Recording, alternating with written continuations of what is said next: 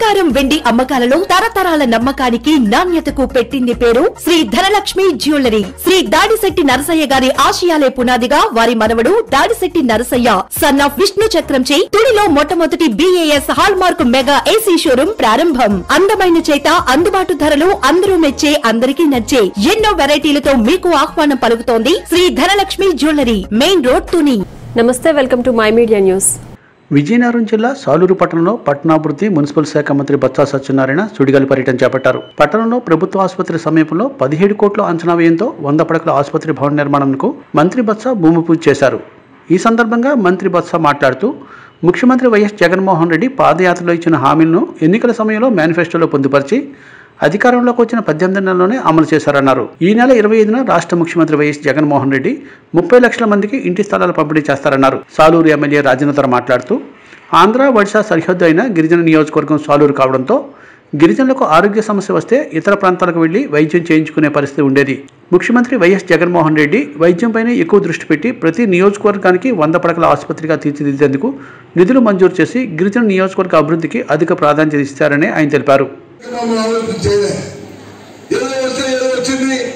ఆ ఐదు నిమిషాలకి అడవుడు చేసేవారు పబ్లిసిటీ చూడేవారు ప్రెస్ మీట్ పెట్టేవారు మళ్ళీ లేకపోతే జీవోలు ఇచ్చేవారు తర్వాత మర్చిపోయేవారు. ఇవాళ అలా కాదు జగన్మోహన్ రెడ్డి గారి నాయకత్వం ఈ ప్రభుత్వం. ఏదైనా మా మాట చెప్తే అది తూచా తప్పకుండా అది పూ- అది పూర్తి చేసి దాని ఫలాన్ని ఇక్కడున్న ప్రతి ఒక్కరికి అందించాలనే ఆలోచనతోనే మరి కార్యక్రమాలు చేస్తున్నాం అనే విషయాన్ని మనం మనం చేస్తున్నాం. అంతేకాదు రేపు వైకుంఠ ఏకాదశి. మీ అందరికీ పర్వదినం రేపు క్రిస్మస్.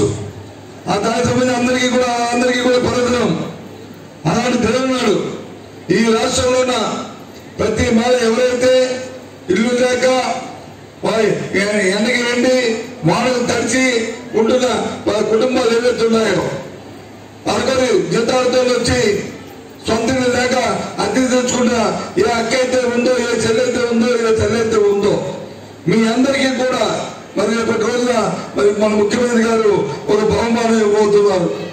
మీ అందరి తరగతి కోరికని తీర్చబోతున్నారు. మీ అందరినీ ఒక ఇంటి వాళ్ళని చేయాలని ఒక నిర్ణయానికి వచ్చారు.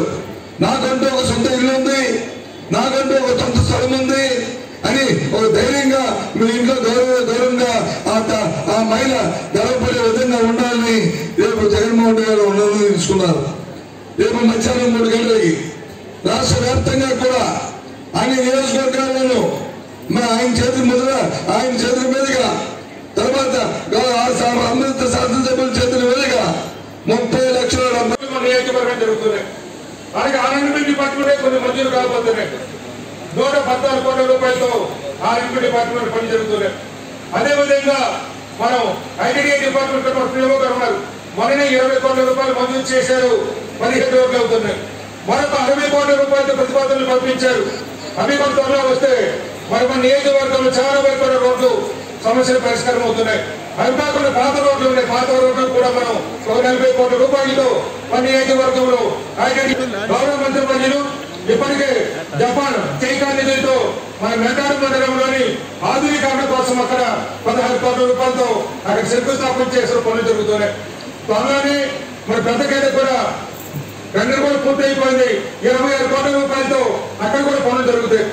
అలాగే మన వెంకటరాయ సాగర్ కూడా అరవై కోట్ల రూపాయలతో టెండర్ కూడా పూర్తయిపోయింది. త్వరలో కూడా అక్కడ కూడా పనులు జరుగుతాయి.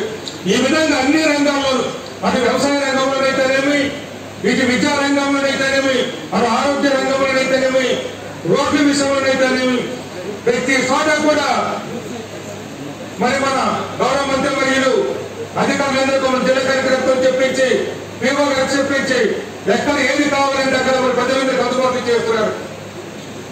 ఇక